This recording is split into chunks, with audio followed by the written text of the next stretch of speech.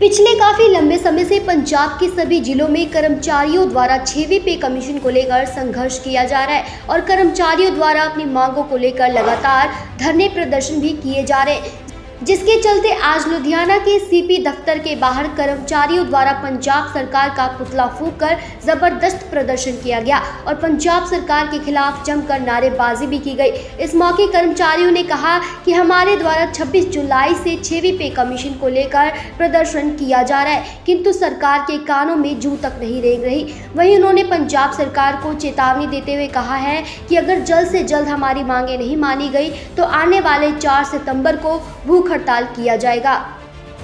ਅੱਜ ਦਾ ਜੋ ਪ੍ਰਦਰਸ਼ਨ ਅਸੀਂ ਕਰ ਰਹੇ ਆ ਇਹ ਡਿਊਟੀ ਮੁਲਾਜ਼ਮ ਪੈਨਸ਼ਨ ਸਾਂਝਾ ਫਰੰਟ ਪੰਜਾਬ ਦੇ ਸੱਦੇ ਤੇ ਬਲਾਕਾਂ ਦੇ ਵਿੱਚ ਤਹਿਸੀਲਾਂ ਦੇ ਵਿੱਚ ਅੱਜ ਪੰਜਾਬ ਦੇ ਵਿੱਚ ਪੰਜਾਬ ਸਰਕਾਰ ਦੀਆਂ ਆਰਥੀਆਂ ਫੂਕੀਆਂ ਜਾ ਰਹੀਆਂ ਨੇ ਉਹ ਕਿਉਂ ਫੂਕੀਆਂ ਜਾ ਰਹੀਆਂ ਨੇ ਪੰਜਾਬ ਸਰਕਾਰ ਨੇ ਪਿਛਲੇ ਲੰਮੇ ਸਮੇਂ ਤੋਂ ਮੁਲਾਜ਼ਮਾਂ ਦੀਆਂ ਮੰਗਾਂ ਪੂਰੀਆਂ ਨਹੀਂ ਕੀਤੀਆਂ ਪਿਛਲੇ ਸਮੇਂ ਦੇ ਵਿੱਚ ਵੀ ਕੈਪਟਨ ਦੀ ਸਰਕਾਰ ਆਈ ਆ, ਬਾਦਲਾਂ ਦੀ ਸਰਕਾਰਾਂ ਵੀ ਆਈਆਂ ਨੇ, ਪਰ ਮੁਲਾਜ਼ਮਾਂ ਨੂੰ ਅੱਖੋਂ ਓਲੇ ਕੀਤਾ ਹੋਇਆ ਇੱਕ ਮੁਲਾਜ਼ਮ ਨੇ, ਪੰਜਾਬ ਸਰਕਾਰ ਦੀ ਰੀੜ ਦੀ ਹੱਡੀ ਹੁੰਦੇ ਨੇ, ਜੇ ਮੁਲਾ- ਪੰਜਾਬ ਸਰਕਾਰ ਦੀ ਰੀੜ ਦੀ ਹੱਡੀ ਟੁੱਟ ਜਾਵੇ, ਤਾਂ ਆਉਣ ਵਾਲਾ ਸਮਾਂ ਵੀ ਸਰਕਾਰਾਂ ਦੀਆਂ ਇਹੀ ਮੁਲਾਜ਼ਮ ਉਹਨਾਂ ਦੀਆਂ ਰੀੜ ਦੀਆਂ ਹੱਡੀਆਂ ਤੋੜ ਕੇ ਰੱਖ ਦਿੰਦੇ ਨੇ। ਪਰ ਆਉਣ ਵਾਲਾ ਸਮਾਂ ਬਹੁਤ ਘਾਤਕ ਆ ਰਿਹਾ, ਮੁਲਾਜ਼ਮਾਂ ਦੇ ਪੱਖੀ ਕਿਉਂਕਿ ਸਿਵੇਂ ਪੇ ਦੀ ਰਿਪੋਰਟ ਨੂੰ ਲਾਗੂ ਨਹੀਂ ਕੀਤਾ, ਜਿਹੜਾ ਇਹਨਾਂ ਨੇ ਕਿਹਾ ਸੀ, ਅਸੀਂ 1/7 ਨੂੰ ਅਸੀਂ ਲਾਗੂ ਕਰ ਦਵਾਂਗੇ, ਪਰ ਇੱਕ ਝਮੇਲਾ ਜਾ ਪਾ ਕੇ ਆ ਰਵਾਈ ਤੇ ਅਨਰਵਾਈ ਦਾ ਝਮੇਲਾ ਪਾ ਕੇ 2.25 ਨੂੰ ਉਹਦੀ ਸੋਧ ਨਹੀਂ ਕਰਦੇ, ਜਿੰਨਾ ਚਿਰ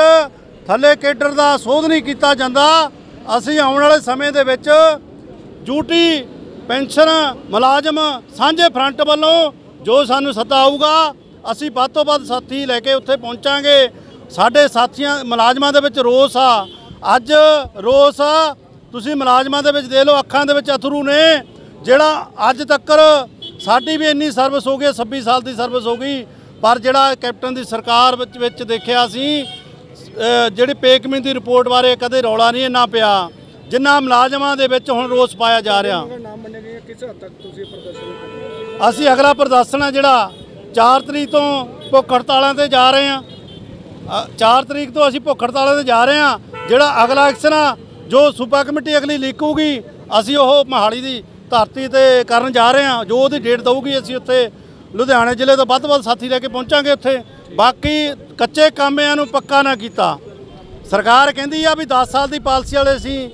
ਵੀ ਪੱਕਾ ਕਰ ਦਾਂਗੇ। ਪਰ 10 ਸਾਲ ਜਿਹਨੂੰ ਹੋ ਗਏ ਲੱਗੇ ਨੂੰ, ਉਹ ਰਿਟਾਇਰੀ ਪੋਸਟਾਂ ਪਈਆਂ ਨੇ ਇਹਨਾਂ ਕੋਲੋਂ। ਉਹ ਰਿਟਾਇਰ ਬੰਦੇ ਪੋਸਟਾਂ ਖਤਮ ਕਰਕੇ ਇਹ ਸੋ ਕਰਨਾ ਚਾਹੁੰਦੇ ਨੇ ਵੀ ਅਸੀਂ ਇੰਨੇ 66000 ਬੰਦਾ ਕੱਚਾ ਪੱਤ- ਪੱਕਾ ਕਰਤਾ। ਪਰ ਕੋਈ ਬੰਦਾ ਪੱਕਾ ਨਹੀਂ ਕੀਤਾ।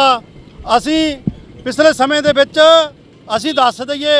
ਵੀ ਅਸੀਂ ਉਹੀ ਸਾਥੀ ਆ ਜਿਹੜੇ ਮੜਕਾ ਚੌਂਕ ਦੀ ਧਰਤੀ ਦੇ ਉੱਤੇ ਬਹਿ ਕੇ ਅਸੀਂ 23 1 2001 ਨੂੰ ਕੱਚੇ ਕਾਮਿਆਂ ਦਾ ਨੋਟੀਫਿਕੇਸ਼ਨ ਜਾਰੀ ਕਰਾ ਸਕਦੇ ਆ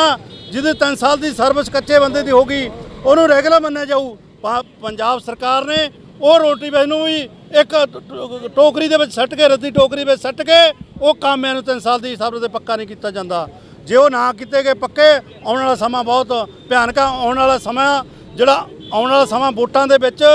ਅਸੀਂ ਇਹਨਾਂ ਨੂੰ ਦੱਸਾਂਗੇ ਵੀ ਅਸੀਂ ਜੋ ਅਸੀਂ ਮੁਲਾਜ਼ਮ ਆ ਵੀ ਅਸੀਂ ਕੌਣ ਆ ਸਰਕਾਰਾਂ ਕੀ ਨੇ ਇਹ ਆਉਣ ਵਾਲਾ ਸਮਾਂ ਦੱਸੂਗਾ लुधियाना से कैमरामैन सागर गागट के साथ राजेश मेहरा की रिपोर्ट सिटी होम न्यूज़